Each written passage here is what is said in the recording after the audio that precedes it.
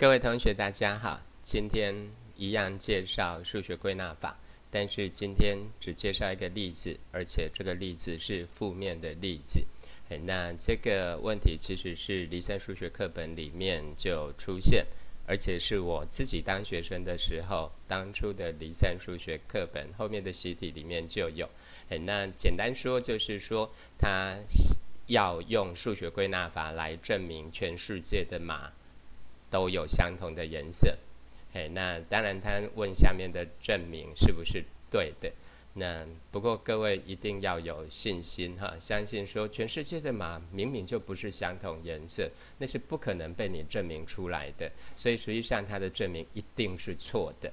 一定是错的。那它怎么证哈？嘿，实际上全世界的马都相同颜色，这句话是没有办法用数学归纳法证的。为什么？嘿，因为数学归纳法要证明，其实它要证的东西里面一定要有一个整数，嘿，一定要有一个正整数才有办法证明哈。嘿，所以它的证明不是证明这一句话，它把它改变另外一句话。那，好，不好意思，好，它改变的另外一句话是证明。从世界上任选 n 匹马都相同颜色，其中的 n 大于等于一。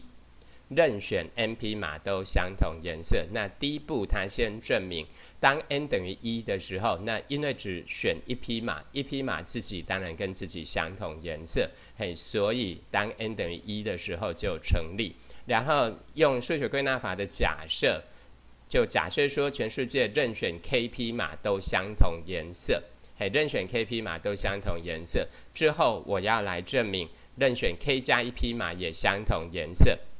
那这时候怎么证？好，这时候我们就说好，那我就把这 k 加一匹马，我把它编号，从一号、二号一直编到 k 号，k 加一号，嘿，就把它做编号。好，然后我就先看一号到第 k 号，这里有 k 匹马。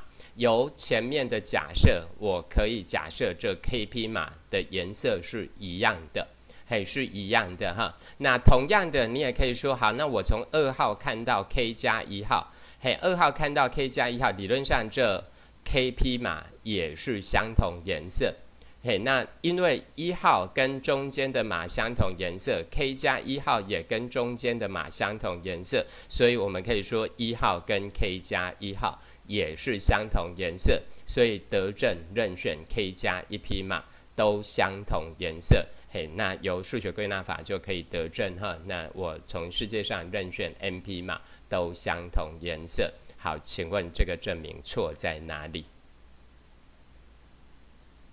好了，我先讲答案啦。不好意思哈，先讲答案。那个呃，有有我自己的经验。待会儿讲完答案再来讲哈，嘿，那实际上这个证明是错的啦哈。好，为什么是错？嘿，那当时有人告诉我说，其实错在 n 从一推到二的时候是错的。嘿，可是说真的，人家告诉我的时候。人家告诉我的时候，我还是想不懂，奇怪哈。那当然，后来再想清楚一点，就是说我刚刚不是说一号跟中间的马都相同颜色，k 加一号跟中间的马也相同颜色，但是问题是，万一 k 加一就等于二，那前面有一号，后面有二号，中间的部分就空了。中间的部分空了之后，一号跟 k 加一号就没有办法得到，就是没有得没有没有根据说它们颜色一定会相同。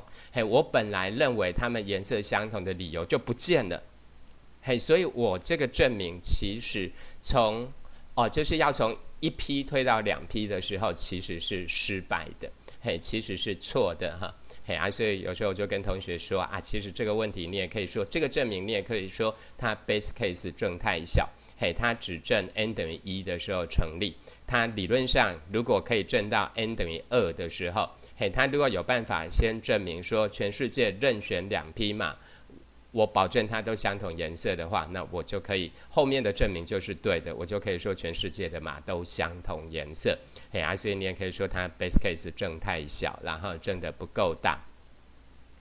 好，那这个是这个例子。嘿，那呃，我我就说，其实我第一次看到这个问题呀，哈，我真正真正看到这个问题，其实是我在考研究所的时候。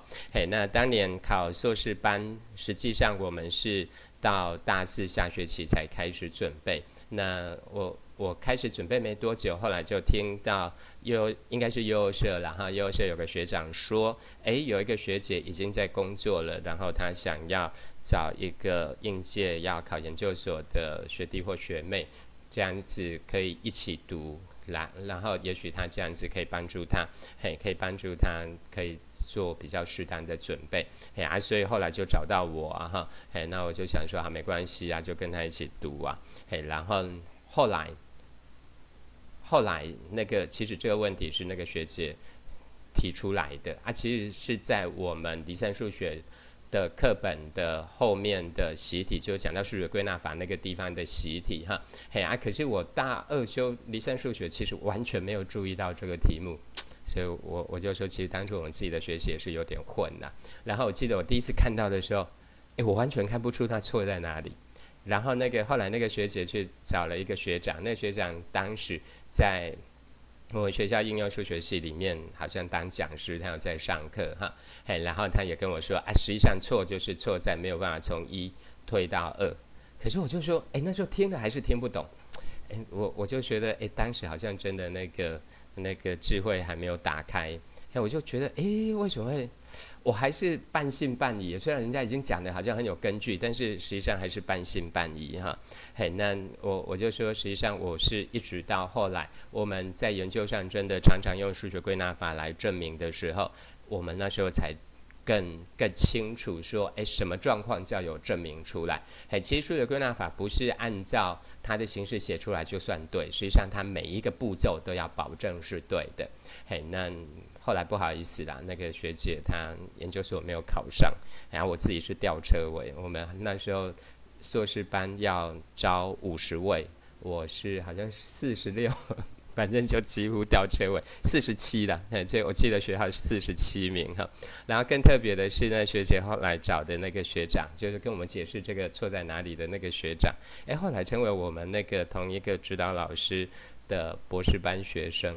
哎，所以后来我跟那个学长还很熟哈，哎，那我就觉得，嗯，哎，其实世界很小了，台湾不不是很大，所以有时候碰到的一些人后来 都蛮熟。好，那这一段就介绍到这里，谢谢大家。